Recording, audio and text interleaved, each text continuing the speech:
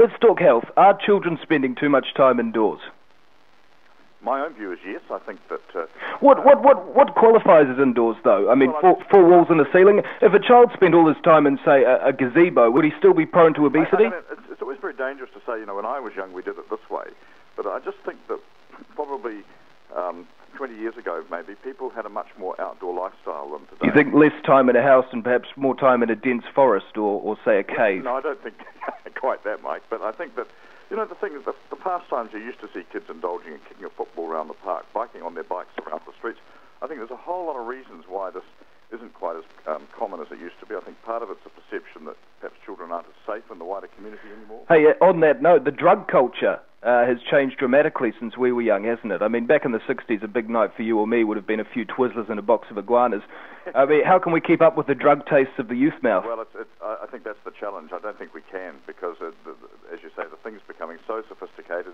Uh, products are changing all of the time. The very best we can hope to do is be somewhere there or thereabouts. And you, know, you take the whole debacle we've had recently over Kronic um, people were saying to me, just ban the stuff, just get it out.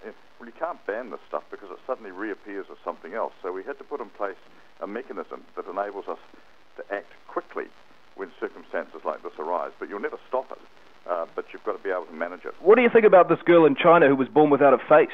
I haven't heard of that, that, that story, but uh, it sounds pretty awful. But it does raise questions I would have thought about just you know the, the way in which we might be uh, influenced by environmental factors these days? What sorts of toxins and poisons are out there that are affecting people's uh, you know, reproductive? Well, the, the, the, the, medical world is amazing, isn't it? I was reading that Russia has recently cloned a human neck. Well, uh, that, that can live independently from the body and has even shown basic cognition skills. Yeah, I mean, how, how far behind is New Zealand in terms well, of these advances? the next whole area of, of, of, medical advance, you know, with, with, with, with cloning, with uh, stem cell research, just what we can actually do, what we're going to be able to identify.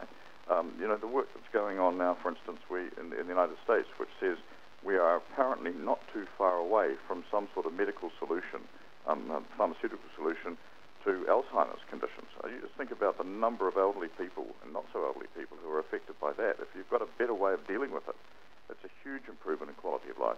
John Key has recently and controversially referred to the members of his cabinet as his wretched puppets. Uh, do you want to comment on that? Oh, look, I think he, has an ability to say things that perhaps other people mightn't say, but might may think. Um, look, he works well with his team of ministers. I think he's got a, a good bunch around him, and uh, uh, every now and then you, you get a clear sense that the Prime Minister doesn't like what one's doing, and he tells you so, and that's fine, you move on. But uh, he's a good guy to work with. He's a real team leader.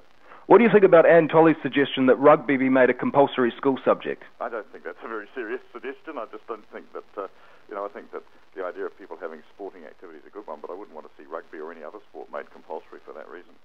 Is this pony trafficking scandal anything to write home about?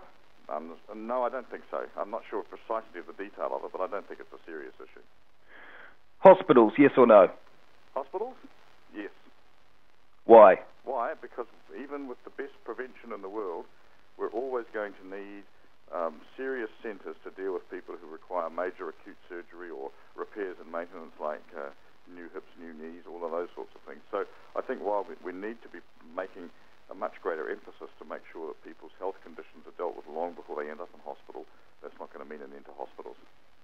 Thanks so much for your time. Thanks, Mike. Very good to talk to you.